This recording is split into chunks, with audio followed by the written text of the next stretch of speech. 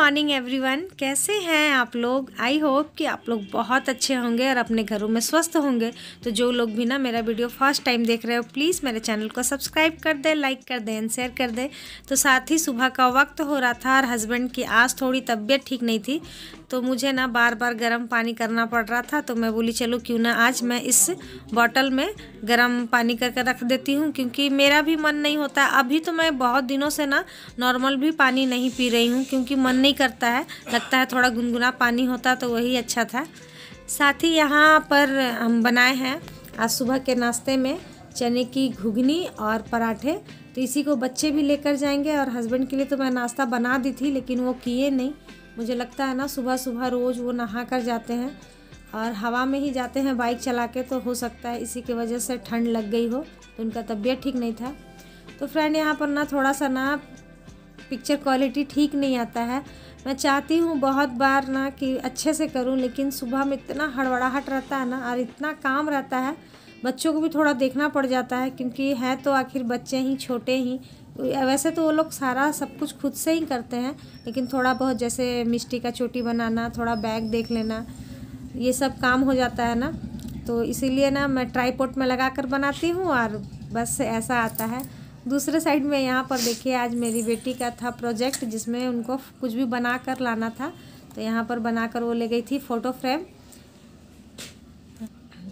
तो बच्चे चले गए हस्बैंड अभी लेटे हुए हैं तो मैं यहाँ पर ना कूद लफंदोरी से कूद रही थी। एक्चुअली मैं ना स्कॉट गाइड की ट्रेनिंग ले चुकी हूँ ना तो ये सब ना मुझे करना ना बहुत अच्छा लगता था। बहुत मैंने पीटी वगैरह किया है और आज शरीर ऐसा कर ली थी ना मैं कि क्या बोलूँ कभी कभी मैं सोचती हूँ कि मैं इतना स्कॉट गाइड की हूँ और मेरा शरीर क्या से क्या हो गया। खैर, अब तो चलिए, बहुत अच्छा हो गया मेरा शरीर।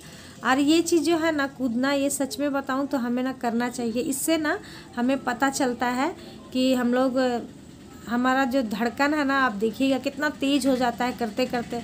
और आप करते रहिएगा ना कंटिन्यूसली तो ये ना, ये सब कम हो जाएगा। तो एक्सरसाइज करने के बाद ना, कल मैं जो दी थी अल्पना, उस सभी को पहले अच्छे से पोछ लेती हूँ। उसके बाद फिर मैं पोछा लगाती हूँ, क्योंकि इसे ना अच्छे से पोछ लेना रहता है, क्योंकि दूसरे दिन तो लहसुन प्याज बनाते हैं ना, इसीलिए उसे अच्छे तरीके से पोछ लेना रहता है। साथ ही यहाँ पर ना, मेरा प्लांट थोड़ा सा सूख गया था तो उसे भी मैं कर ले रही हूँ और हस्बैंड यहाँ उठ गए हैं, वही रिकॉर्ड कर रहे हैं। तो थोड़ी सी मस्ती मज़ाक चल रही थी। तो देख सकते हैं, इसमें भी पानी देने के बाद अच्छे से जान आ गई। हेलो एवरीवन गुड मॉर्निंग कैसे हैं आप लोग? आई होप कि आप लोग बहुत अच्छे होंगे। स्वस्थ होंगे, मस्त होंगे, ज़बरदस्त होंगे और बत्तीस बार के साथ व्यस्त होंगे। जैसा कि कल मेरा था salt free day sugar free day ऐसे शुगर तो मैं मतलब चीनी का यूज़ नहीं करती हूँ, मैं सिर्फ़ गुड़ का ही यूज़ करती हूँ। तो उसके बाद आज आज ऐसा बिल्कुल नहीं करना है कि पहले की तरह एकदम टूट पड़ो खाने पर। ऐसा बिल्कुल भी नहीं करना है। देखिए, सिंपल मैं ली हूँ। आज मैं नाश्ते में बनाई थी चने की सब्ज़ी। तो इसमें थोड़ी सी मैं सब्ज़ी भी डाल ली हूँ और साथ ही कच्चा चना है, जड़ है, प्याज है, टमाटर है, यही सब है। थोड़ी सी हल्की सी नमक है। और कुछ भी नहीं है, नींबू वगैरह नहीं है, ख़त्म हो गई है तो। तो चलिए स्टार्ट करते हैं इसे खाने के लिए, क्योंकि अभी मेरा ना सारा काम सारा काम तो हो गया है। सिर्फ़ सब्ज़ी बनानी अभी बाकी है तो मुझे वो भी बनानी है। और एक चीज़ और बोलनी थी कि फ्रेंड प्लीज़ आप लोग डीमोटिवेट ना हो। एक फ्रेंड का मुझे मैसेज आया कि मैं डीमोटिवेट हो रही हूँ तो बिल्कुल नहीं होना है डियर किस वजह से आप डीमोटिवेट हो रही हैं? सिर्फ़ इस वजह से? हम लोग ना, जो हाउस वाइफ लोग हैं, हम लोग ना सबसे बड़ा काम करते हैं। जैसे कि हम लोग सबसे बड़ा काम क्या करते हैं ना कि घर को संभालना। घर को संभालना, बच्चे को संभालना, सब कुछ अरेंज करना, सब कुछ खुद से जब जब इतना बड़ा हम लोग काम करते हैं, बिना किसी अप्रिसिएट के तो क्या हम बत्तीस बार में कैसे विफल हो सकते हैं? बिल्कुल नहीं। हम बत्तीस बार के साथ आगे बढ़ सकते हैं, अपने शरीर को भी तंदुरुस्त कर सकते हैं। और मोटिवेट मैं तो हूँ ही लेकिन आपको खुद से होना होगा। क्योंकि जब तक आप नहीं होइएगा ना, तब तक नहीं होगा। ऐसा बिल्कुल मत सोचिए कि एक सप्ताह हो गया है तो मैं नहीं, कोई भी असर नहीं हो रहा हो रहा है। होगा, ज़रूर होगा। अगर आप इसी चीज़ के बारे में सोचते रहिएगा ना तो कैसे होगा? अब अपने काम को, जो आप काम करती हैं, उस काम को करते रहिए, साथ के साथ आप बत्तीस बार भी एकदम ईमानदारी के साथ करिए। मैं एकदम गारंटी के साथ बोलती हूँ, सच में सभी का हुआ है, आपका भी होगा। आप लगे रहिए। बिना कुछ सोचे हुए आप लगे रहिए, आपका ज़रूर होगा। देखिए फ्रेंड बहुतों का क्या होता है ना, कि सबका शरीर तो अलग अलग होता है। सबके शरीर में जब कुछ भी हम लोग नया कुछ करते हैं ना तो हमारा हार्मोन से थोड़ा सा इधर उधर होता है। तो किसी का जल्दी हो जाता है, किसी का देर होता है। हो सकता है आपको, आप नहीं कर पा रही हो, कहीं तो गलती कर रही हो जिसकी वजह से आपका नहीं हो रहा हो। क्योंकि मैं जब की थी ना तो मुझे बहुत ही जल्दी रिज़ल्ट मिला था। और मैं तो कुछ डाइट भी नहीं की थी उस वक्त, क्योंकि हमारा शरीर उस वक्त तैयार नहीं होता है किसी भी डाइट के लिए। अब हमारे शरीर में चार पाँच रोटी जा रही है रात में, नाश्ते में चार रोटी जा रही है तो एक थाली चावल जा रहा है, और बत्तीस बार के साथ तो ऑटोमेटिक है कि हमारा खाना कम हो जाता है। क्योंकि हमारा शरीर उतना ही खाना लेता है जितना जितना का हमें ज़रूरत होता है, वो एक्स्ट्रा लेता ही नहीं है। तो जिसकी वजह से हम लोग को थोड़ा सा तो प्रॉब्लम होगा ही। कुछ दिनों के लिए थोड़ा सा कमज़ोरी लगता है, लेकिन फिर सब कुछ सही हो जाता है। तो इसीलिए घबराइए मत। हो सकता कहीं आपसे गलती हो रही हो। उस चीज़ को पकड़िए। ध्यान दीजिए कि कहाँ मैं कुछ मिस्टेक कर रही हूँ। बत्तीस बार, सबसे पहले तो बत्तीस बार का आदत लगाइए। सबसे पहले यही करना है आप लोगों को। जो नए लोग कर रहे हैं ना, मैं उनको बोल रही हूँ कि सबसे पहले ना आपको बत्तीस बार की आदत लगानी होगी। नॉर्मल रहना होगा। ये नहीं कि जैसे बहुत कोई है ना कि हर सुबह में भी अपना वेट कर रहे हैं वेट नाप रहे हैं मॉर्निंग में भी। उस तरीके से कीजिएगा ना तो उस तरीके से तो अच्छा नहीं है ना। क्योंकि थोड़ा सा होता है, जैसे हम लोग खाना खा लिए तो वो तो थोड़ा सा बढ़ेगा। हम लोग बाथरूम चले गए तो वो घटेगा। इस टाइप से होता है।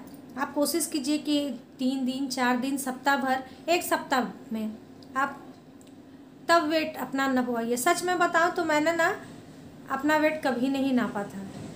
जब मैं थायराइड चेक करवाने गई थी ना तो उस वक्त वहाँ पर डॉक्टर लोग तो करते ही हैं। तो मेरा वेट था बहत्तर के जी था। तो बहत्तर के जी था तो कुछ दिनों में जब मुझे मालूम चला तो उसी से मैं अनुमान लगाई कि सत्तर और फिर आए थे। जब उस वक्त मैं कर ही रही थी, ऐसा नहीं कि मैं छोड़ी थी तो उस वक्त ना मेरा वेट हो गया था पचपन के जी उसके बाद मैं फिर कंटिन्यू और की तो मैं थोड़ा सा ज़्यादा पतली लगने लगी थी तो हस्बैंड लोग फिर बोलने लगे कि नहीं ठीक हो, अब मत करो।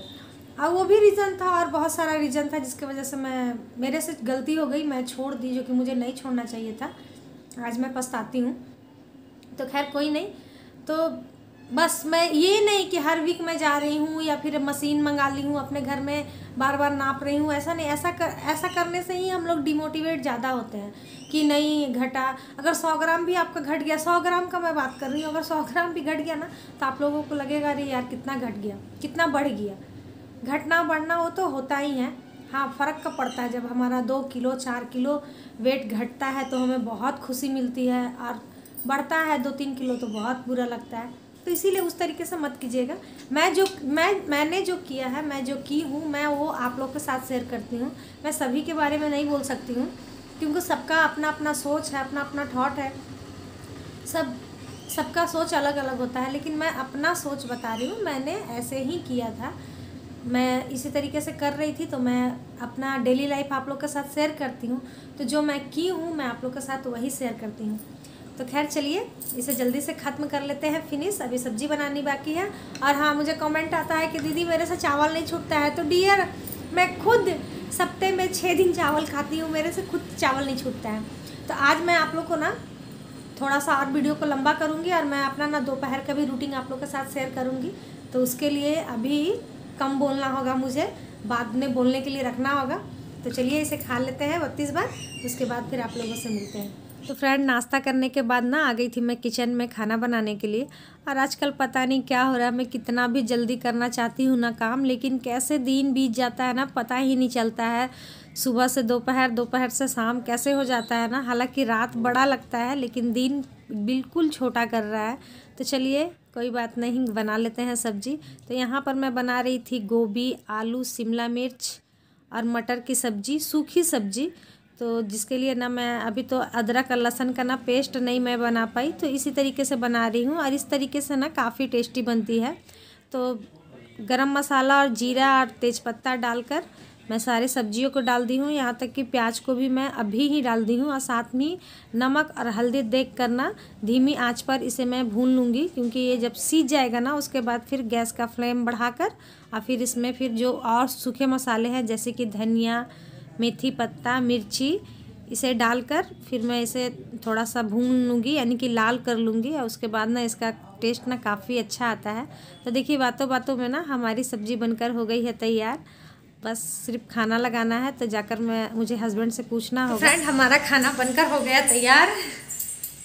देख सकते हैं यहाँ पर गोभी आलू की सब्ज़ी साथ में है सैलेड जो कि मैं अपने लिए सिर्फ़ काट कर रखी हूँ, बिना नमक वाली। ये लोग बिना नमक वाली नहीं खाते हैं। और थी भी नहीं तो सिर्फ़ मैं अपने लिए ही काटी हूँ। तो अब देखती हूँ अगर ये अभी तो फ़ोन चला रहे हैं। अगर बोलेंगे खाने को तो खाना निकालूँगी या फिर हम भी खाएँगे।